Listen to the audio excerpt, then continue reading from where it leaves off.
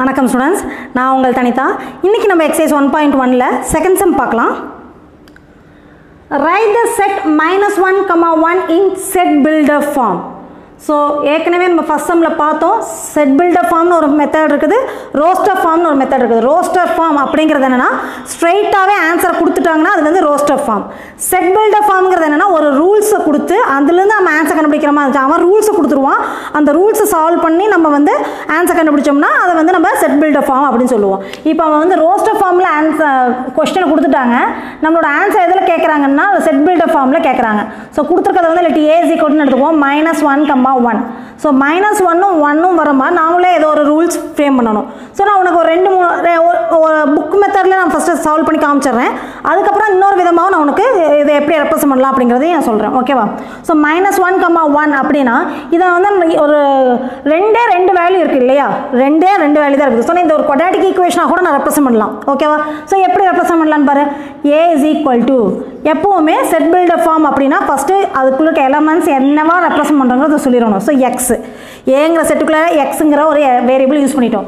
சரி இப்போ இந்த எக்ஸ் எதுக்குள்ளே இருக்குதுன்னு சொல்லணும். X such that X belongs to real நம்பர்னு கொடுக்கலாம். அல்லது இன்டீஜர்னு கொடுக்கலாம். சரியா? நேச்சுரல் நம்பர் கொடுக்க முடியாது. ஏன்னா நெகட்டிவ் வேல்யூ வந்துருச்சு இல்லையா?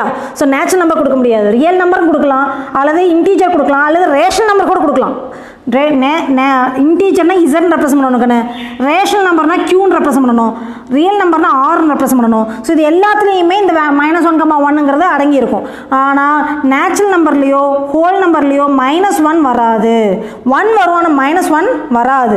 அதனால் என்னும் டபிள்யூ மட்டும் யூஸ் பண்ணக்கூடாது. மற்றபடி இந்த மூணு இசட் யூஸ் பண்ணலாம் க்யூ யூஸ் பண்ணலாம் ஆர் யூஸ் பண்ணலாம். இதில் எது வேணால் நீ யூஸ் பண்ணிக்கலாம். ஸோ புக்கில் வந்து ஆர் கொடுத்துருக்கேன் ஆர் கொடுத்துருக்கேன். பட் ஆர் கொடுத்தாவும் கரெக்ட் தான் இசட் கொடுத்தாவும் கரெக்ட் தான் க்யூ கொடுத்ததாவும் கரெக்டு தான். So X belongs to R சரி. அதுக்கப்புறம் என்ன சொல்கிறாங்க எக்ஸ் இப்போ மைனஸ் ஒன்னும் ஒன்றும் வர மாதிரி நான் வந்து ஒரு கொடாடிக்கு ஈக்குவேஷன் ஃபார்ம் பண்ணலான்னு சொன்னேன் இல்லையா?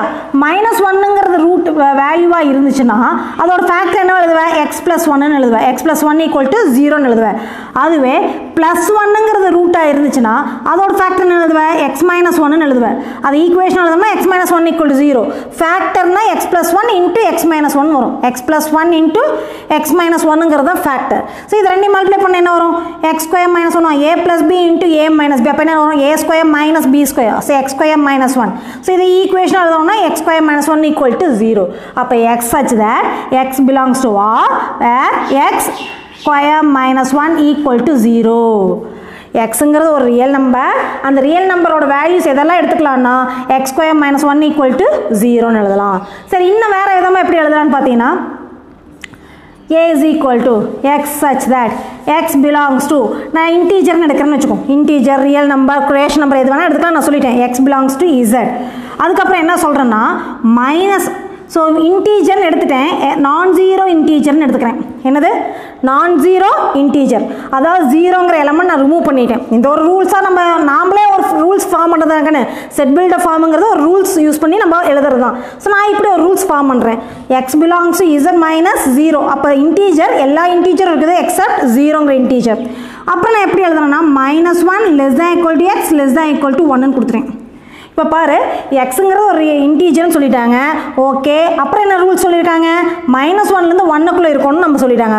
மைனஸ் ஒன்று ஒன்று இன்க்ளூட் ஆகிருக்குது சரியா? இன்னொரு விதமாக கூட எழுதலாம். Minus two less than x equal to கொடுக்கக்கூடாது minus two less than x less than டூன்னு கூட கொடுக்கலாம். ஏன்னா இன்டீஜர்னு சொல்லிட்டோம். இதே ரியல் ரேஷன் நம்பர்னோ அது அல்லது ரியல் நம்பர்னோ கொடுத்தோம்னா நம்ம இந்த மைனஸ் டூ டூ அப்படிங்கிறது எழுத முடியாது. புரியுதா? இந்த இந்த ரூல்ஸ் ஃபார்ம் பண்ணணும்னா இன்டீஜர் தான் யூஸ் பண்ணணும். இங்கே ஆர் யூஸ் பண்ணாத. ஏன்னா மைனஸ் ஒன்லேருந்து ஒன்றுக்குள்ளே ஏகப்பட்ட ரியல் நம்பர்ஸ் இருக்குது.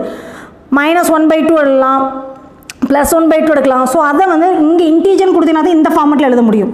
கவனமாக இருக்கணும். இங்கே வந்து எப்படி வேணால் எழுதலாம் ஏன்னா நம்ம இங்கே வந்து கொட்டாட்டிக்கு ஈக்குவேஷனாக கொடுத்துட்டோம். ஸோ ரியல் நம்பர்ஸ்லாம் அதுக்கு இந்த ரெண்டே ரெண்டு ஆன்சர் தான் வருது. அதனால் எழுதியாச்சு. பட் இந்த மாதிரி இன்டர்வலாக கொடுக்குற அப்படின்னா நமக்கு இங்கே கவனமாக இருக்கணும். இங்கே ரியல் நம்பர் கொடுத்துட்டீங்கன்னா இங்கே வெறும் மைனஸ் ஒன் கமா ஒன் வராது. மைனஸ் ஒன் பை டூவும் வரும். மைனஸ் ஒன் பை ஃபோரும் வரும். Plus one by two plus one by four இந்த மாதிரி இன்ஃபைன் நம்பர் ஆஃப் ஃப்ராக்ஷன்ஸ் நம்ம இன் பிட்வீன் இருக்குது. அது எல்லாமே ரியல் நம்பரில் வந்துடும் அதனால் இந்த மாதிரி இன்டர்வலில் கொடுக்குறதா இருந்துச்சுன்னா நீங்கள் கம்பல்சரி எதாவது போடணும். இன்டீஜருங்கிறது தான் போடணும். So minus minus one less than equal to x less than equal to one கொடுக்கலாம். அல்லது minus two less than x less than டூன்னு கொடுக்கலாம். ஸோ இது இன்னொரு ஃபார்மேட் இப்படியும் எழுதலாம். உனக்கு புக் ஆன்சர் இப்படி இருக்குது. அதுவும் இப்படி கூட இல்லை. X square minus one equal ஜீரோன்னு கூட கொடுக்கல. எப்படி கொடுத்துருக்காங்கன்னா எக்ஸ் ஸ்கொயர் ஈக்குவல் டு ஒன்னு கொடுத்துருப்பாங்க. நீ எப்படி வேணால் எழுதிக்கலாம். ஸோ இதுதான் வந்து உனக்கு செட் பில்டர் ஃபார்ம்